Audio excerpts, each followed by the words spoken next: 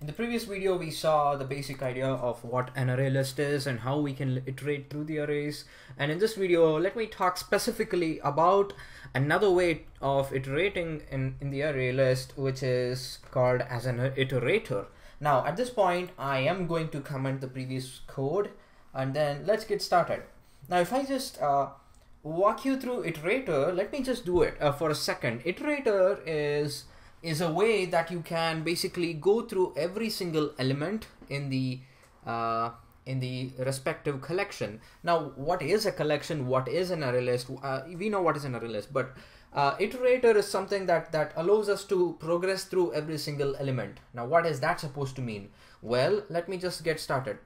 Uh, then we can understand it in a much better way. So, if I just create an iterator object, and let's call it iterator.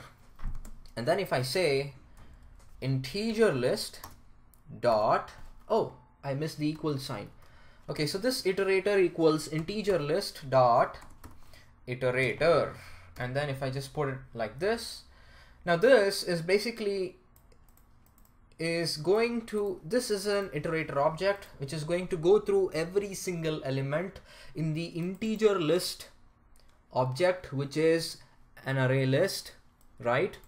And then it is going to do iteration. So when you say iterator, it is going to return an iterator. Don't worry too much. But at this point, just know that iterator is an object that is going to go through every single element in the array list. So for if that is the case, then let us do some logic. While iterator, right, this iterator has another element in the next, right?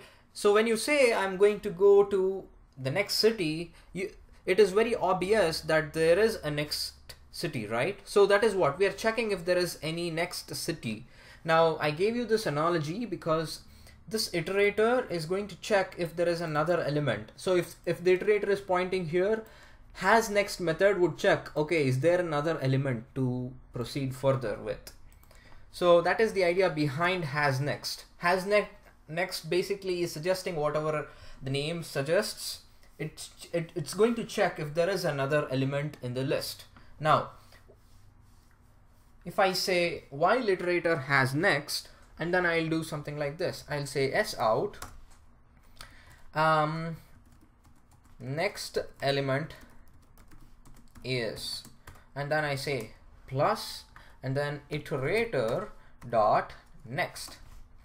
Now, basically what is this going to do? If I just run this, you see, it just went through every single element that we had added in the array list, right? Next element is 5, 35, 75, 105. So that is another way to iterate. Now, this iterator is, is useful in many ways. Iterator can be used in all the collections. Now, what is a collection? I'll explain that in the next uh, or the in the next upcoming videos. But basically, everything, every data structure that we use, an array list, a, uh, a list, um, you know, a tree, a tree set. I mean, there are so many such things that I don't want to bother you at this point with. But you know, everything is a collection. Now, with that being said, we have another thing that we could easily do. Let's see. Now if I say integer list dot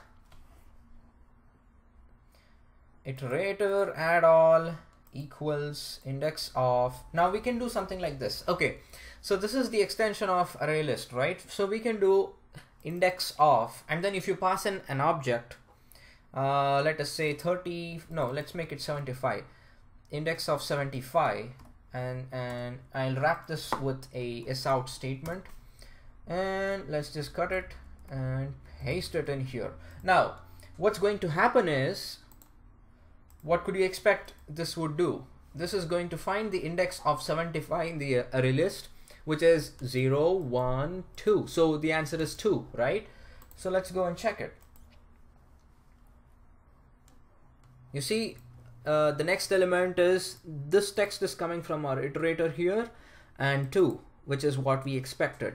So that is going to be index of method like that. If you just little bit explore on your own you'll you'll find out that there are so many such helpful uh, built-in methods that java provides you. For example another example would be oh yeah so something like this.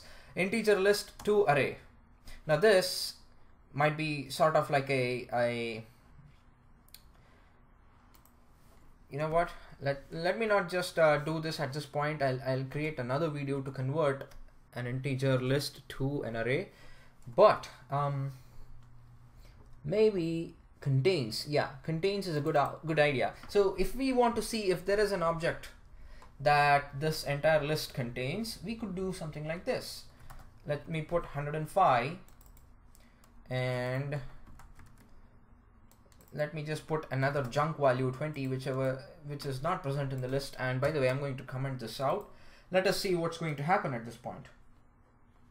You see true and false. 105 is contained in the list while 20 is not contained in the list. So that is the basic idea about the array list. In the next video let's go a little bit further in this array list concept.